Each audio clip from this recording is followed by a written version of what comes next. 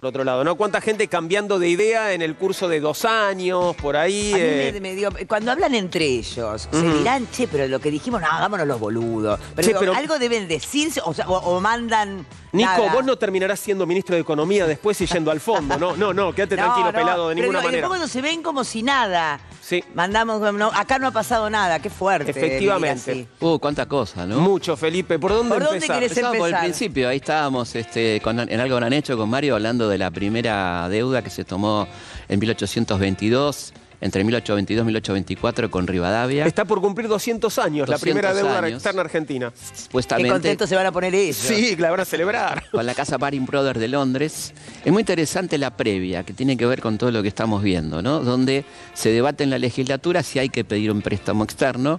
Y hay un par de diputados que son calles de Buenos Aires, como Gascón, por ejemplo, que dice, ¿por qué vamos a pedir de- de- deuda externa si tenemos superávit?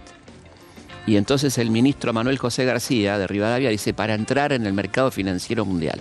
O sea, como dice hoy también. Para entrar debiendo Macri, plata, digamos. Macri. Exactamente. Y yo creo que acá hay una clave muy interesante, que es, a veces nos enojamos con la cosa del- de, lo, de lo corto, y hay algo más importante. Todas las experiencias neoliberales, que son la libertadora, la dictadura, el menemismo y el macrismo, endeudaron a largo plazo, digamos, con un objetivo mucho más im- importante que lo inmediato, más allá de las cuestiones políticas de ganar una elección o no, eh, era la cosa de con- condicionar absolutamente al país, ¿no? Una política económica que no pueda hacer otra cosa que obedecer los planes del fondo. Claro, eso también es una Depender, dependencia política depender a largo plazo. Exactamente, es, una, es un plan a largo plazo, como decía Rodolfo Walsh, el, el plan de hambre a largo plazo, donde a vos ya te condicionan, y por más buena voluntad que tengas, este, le pasó a Alfonsín, ¿no? El postdictadura, por ejemplo, este, la cuestión de que estás tan endeudado y tan apretado a, a, este, a establecer estas políticas que plantea el fondo.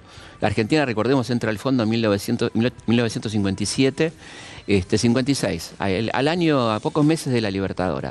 Perón se había negado a ingresar al fondo, el fondo se crea en 1944, ¿no? Los acuerdos de Bretton Woods, que es un organismo internacional eh, impuesto por Estados Unidos en el cambio de paradigma entre la libra y el dólar. Estados Unidos empieza ahí a tener un peso más importante, tiene poder de veto. eh, y entonces la Argentina empieza en el año 56 a aplicar estos programas del fondo que son siempre iguales, ¿no?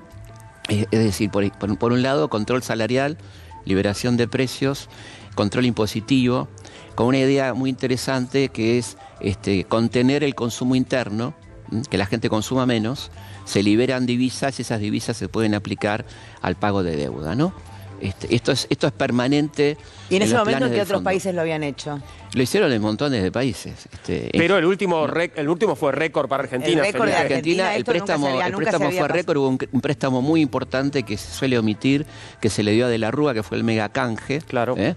Eh, poco antes del desastre, que lo tramitó Caballo, que fueron 30 mil, creo, millones de dólares, que fue muchísimo dinero, que por supuesto no se pudo pagar, este, hubo que renegociarlo, y este es un préstamo récord absolutamente. ¿Alguien los controla, el Fondo Monetario? Bueno, esto es una cosa muy interesante, ¿no? Que tampoco circula tanto, ¿no? La, la complicidad y la corresponsabilidad, que son unas cosas que están planteando ahora.